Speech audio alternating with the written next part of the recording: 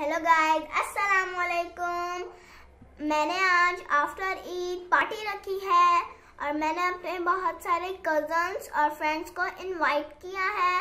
उम्मीद करती हूँ आपको भी ये वीडियो पसंद आएगी। तो वीडियो को एंड तक लाजमी देखिएगा।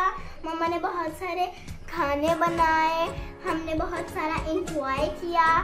तो आप इस वीडियो को लाइक शेयर और सब्सक्राइब ज़रूर करना।